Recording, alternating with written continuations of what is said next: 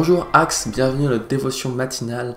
Euh, si tu ne me connais pas, je m'appelle Corentin, je suis responsable jeunesse ici à Axe 21 Sherbrooke. Je te souhaite la bienvenue euh, dans la communauté en ligne d'Axe 21. Euh, si justement c'est ta première fois que tu te joins à nous. Euh, puis c'est quoi nos dévotions matinales? C'est chacun des membres de l'équipe amène un partage sur un passage de la Bible pour vous encourager pour votre journée. Puis en ce moment, on a une thématique qui est sur les paraboles. Puis les paraboles, c'est quoi? C'est une explication de ce qui se passe euh, céleste en, image terrestre. Donc Jésus va amener des paraboles qu'on regarde dans le Nouveau Testament à ses disciples.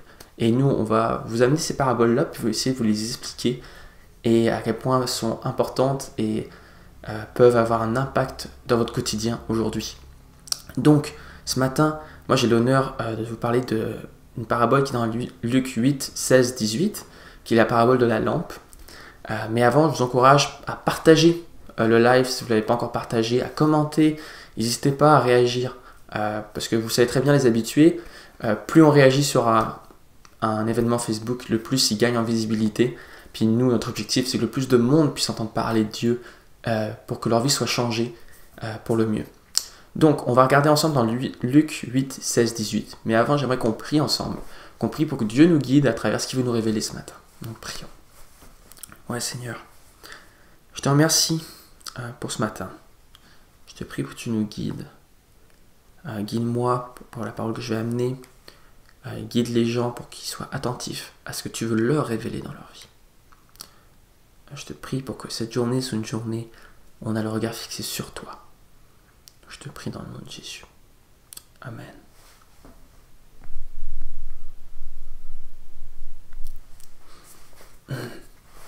Donc, si vous pouvez tourner avec moi dans Luc 8, 16, 18.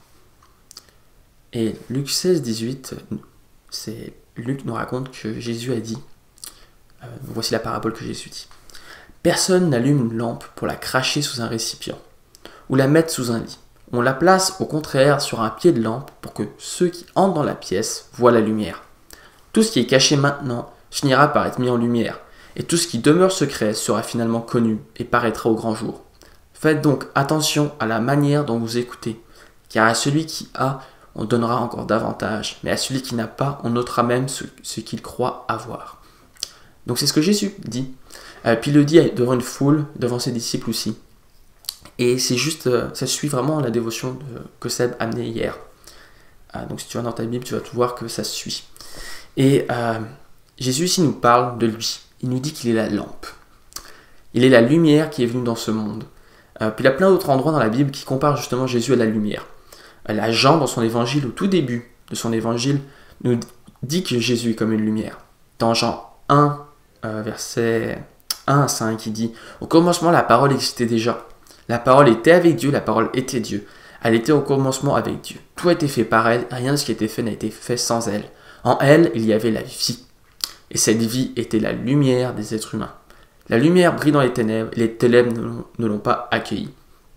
Jean fait référence à Jésus, euh, qui est la parole de Dieu fait chair, qui est Dieu fait chair, qui vient vivre avec l'humanité, euh, et l'humanité le rejette. Et donc Jésus est cette lumière qui brille dans les ténèbres.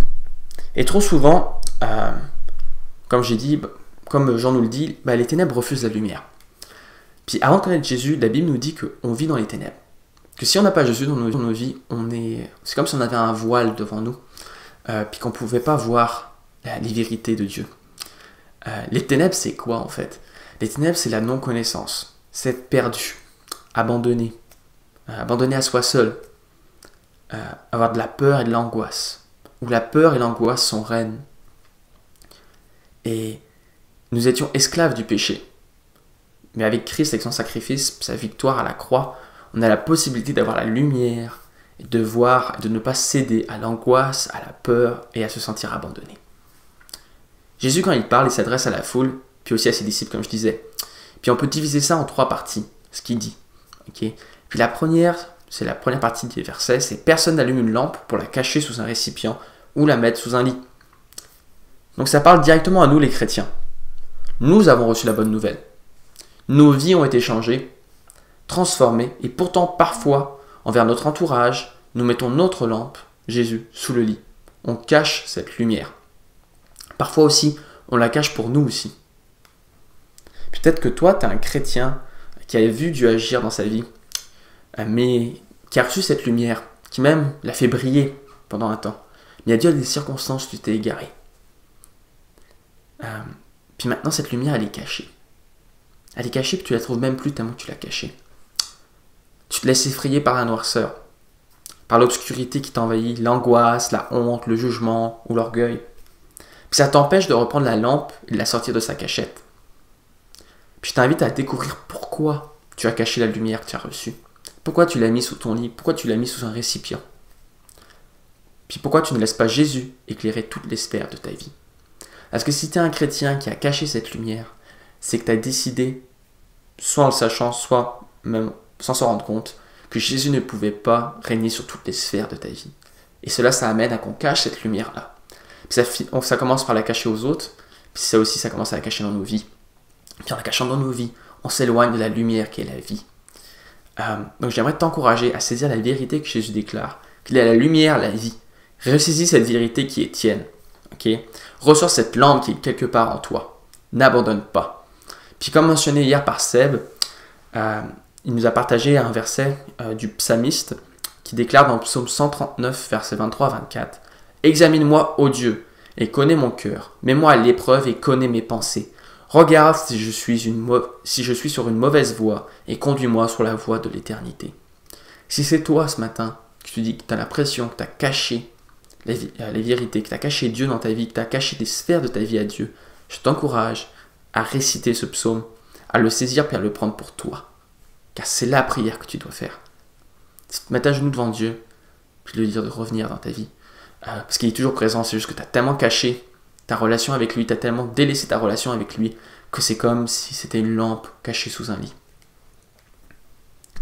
En deuxième, c'est euh, Jésus nous dit on la place au contraire sur un pied de lampe pour que ceux qui entrent dans la pièce voient la lumière. Donc si tu es chrétien, Jésus te le dit directement, mets la lumière sur un pied de lampe. Ok? Tu veux pas garder Jésus que pour toi. La lumière fait tellement du bien, c'est la vie. La lumière apporte de la clarté, ça chasse le stress, ça met au grand jour les mensonges, euh, ça chasse la honte, elle donne de l'énergie. La lumière amène à la vérité et la vérité à la paix. Amen. Et c'est seulement possible si dans ta vie, tu mets Jésus au centre, si tu le mets sur un pied de lampe, pour éclairer ta vie et celle de ceux qui t'entourent. Puis Jésus, dans Matthieu 5, 14, nous dit euh, que nous, les chrétiens, on est comparés comme à une, cité sur une montagne. Il dit, vous êtes la lumière du monde. Une ville située sur une montagne ne peut être cachée. Donc n'oublions pas notre job, d'amener sa parole, d'être des témoins dans ce monde de ce que Jésus a fait, fait et fera. Et ce matin, vous allez voir, j'ai plein de versets à l'appui, à l'appui de tout ce que je vais dire, parce que je trouve tellement que ça, ça parle, ça fit avec la parabole. Euh, on a Paul qui dit dans Romains 10, 14 à 17, Mais comment feront-ils appel à lui s'ils ne l'ont pas cru en lui Et comment croiront-ils en lui s'ils ne l'ont pas entendu? Et comment entendront-ils s'il n'y a personne pour leur annoncer?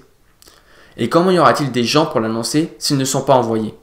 Aussi est-il dit dans l'Écriture qu'ils sont beaux les pas de ceux qui annoncent de bonnes nouvelles. Mais malheureusement, tous n'ont pas oublié cette bonne nouvelle. Isaïe déjà demandait Seigneur, qui a écrit notre message? Donc la foi naît du message que l'on entend, et ce message vient par la parole de Christ. Amen. Paul le dit clairement. Comment vont-ils croire s'ils ne peuvent pas entendre la bonne nouvelle? Comment on peut être libéré de la noirceur si on ne voit pas la lumière? Et c'est l'appel à nous, les chrétiens, de justement pas cacher cette lumière qu'on a reçue, mais de la mettre sur un pied de lampe pour éclairer euh, notre vie et notre entourage. Puis on parle souvent des difficultés d'être un disciple, d'être chrétien. Ah, c'est tough, c'est difficile, tu as besoin de la communauté pour t'en sortir.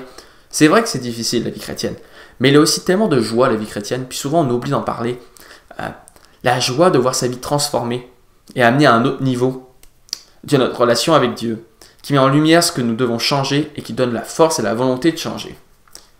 Puis ça, c'est juste possible grâce à Dieu, qui, qui fait qui nous sommes, ses enfants. Puis c'est la joie de voir Dieu agir dans la vie des autres, de voir la lumière mise sur un pied de lampe et d'observer des gens perdus retrouver leur chemin, des gens être libérés de la noirceur, de la peur, de la condamnation, des mensonges. Il y a une joie une responsabilité qu'on a en tant que chrétien. Ne cachons pas Jésus, mais soyons ses témoins. Ses témoins par notre vie. Nous soyons un exemple d'action, de parole, euh, de parole et d'action, pour pointer à la source, la vraie et seule lumière, Jésus. Puis le troisième qui nous partage, euh, verset, troisième partie de la parabole, il dit Tout ce qui est caché maintenant finira par être mis en lumière, et tout ce qui demeure secret sera finalement connu et paraîtra au grand jour. Faites donc attention à la manière dont vous écoutez, car à celui qui a, on donnera encore davantage, mais à celui qui n'a pas, on notera même ce qu'il croit avoir. La troisième partie mentionne le jugement dernier. Jésus y fait allusion qu'un jour tout sera révélé. Tout sera mis en lumière et nous allons devoir répondre pour nos actes. Et à ceux qui auront reçu la lumière, qui l'auront écouté, nous devons nous mettre en pratique ce que nous prêchons et adhérons. Trop de chrétiens cachent Jésus, comme je disais. Ils le cachent pas juste de leur entourage, mais aussi de certaines parties de leur vie. Euh, on est souvent, oh attends un peu Jésus, face à la tentation. Sais quoi, je vais, te cacher, puis je vais revenir te voir tantôt. Euh, oh non, mais ça c'est Jésus, je m'en vais au travail, euh, donc je vais te laisser ici, tu m'attends chez moi, puis je vais aller travailler, puis on se, revient, on, se revoit après. Tu caches la lumière que tu as reçue. Et souvent on le fait, souvent on fait, on met Jésus en sourdine, silencieux. Et c'est tellement pas ce quoi on est appelé à être. Euh, on n'est pas appelé à mettre Jésus en cachette et à le ressortir juste quand on a besoin. On est appelé à le, mettre dans toute notre sphère de notre vie, dans toutes les sphères de notre vie. Donc trop souvent on fait ça. Puis faisons attention, approchons-nous de Dieu. Et ça dit, plus nous sera donné. Ne le cachons pas, mettons-le sur un pied de lampe qui illumine notre vie tel un phare. Puis Dieu donnera davantage. Mais il donnera quoi? Puis ici, ça ne parle pas de richesse matérielle ou de conditions physiques. Euh, cette parabole est purement spirituelle. Plus tu t'approches de Dieu, de la source de lumière, de la source de vie, moins tu auras soif. Jésus le dit dans Jean 4, 14. Mais celui qui boira de l'eau que je lui donnerai n'aura plus jamais soif. Bien plus, l'eau que je lui donnerai deviendra en lui une source intéressable qui jaillira jusque dans la vie éternelle. Tu vas connaître la paix. Tu seras inébranlable, peu importe les circonstances. Car tu seras proche de Dieu, tu verras clair face à la tempête. Tu verras des choses que d'autres ne verront pas, parce qu'à toi, ta vision ne sera pas obscurcie. Puis, pour conclure ce matin, euh, j'aimerais t'inviter à regarder la lumière la parole de Dieu, à la saisir, pour qu'elle puisse chasser l'obscurité environnante et celle qui est cachée en toi. On a tous une part d'ombre en nous, euh, et c'est qu'en s'approchant de Dieu qu'on réussit petit à petit à enlever cette part d'ombre en nous. Euh, si tu saisis la bonne nouvelle, puis la mets sur un pied de lampe, ça va illuminer ta vie et celle des autres. Pour faire ça, il faut que tu entretiennes ta relation avec Dieu. Une lampe, vous savez, il faut l'entretenir. Puis à l'époque, euh, la lampe qu'ils avaient, ils de l'huile pour la garder allumée. Ça veut donc dire qu'ils devaient l'entretenir, la lampe. Et je te dis, plus tu invites Dieu dans ta vie, plus il va t'illuminer. plus la lumière va être présente. Laisse la parole de Dieu entrer dans ta vie pour pouvoir entretenir cette lumière que tu as trouvée en Jésus. Puis je trouve ça intéressant, c'est Jésus ne se compare pas à, un feu d'artifice ou quelque chose de flamboyant, mais à une lumière qui entre dans une pièce telle une lampe. Ta foi est une lampe face à l'adversité. Prends-en soin, plonge-toi dans sa parole, poursuis Jésus toujours plus de lui. Et tu vas voir tu vas voir à travers l'obscurité. Et peu importe les tempêtes, ta foi sera comme un phare et tu ne vas pas perdre le cap, qui est Jésus. Euh, c'était ça que je voulais vous amener comme encouragement ce matin, Axe. De ne pas mettre Jésus euh, sous un couvercle, puis de le cacher, puis de le ressortir que quand vous en avez besoin, mais le laisser entrer dans toutes les sphères de votre vie pour que ça ait un impact sur vous et sur votre entourage. Euh, j'aimerais prier pour vous, pour ceux qui, c'est un challenge de abandonner plusieurs choses à Jésus.